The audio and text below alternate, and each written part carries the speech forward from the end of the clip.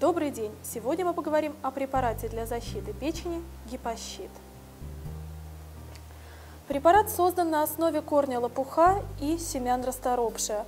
Он избавит вас от таких неприятных симптомов, как изжога и отрыжка, снижение веса и аппетита, поможет защитить печень от разрушения.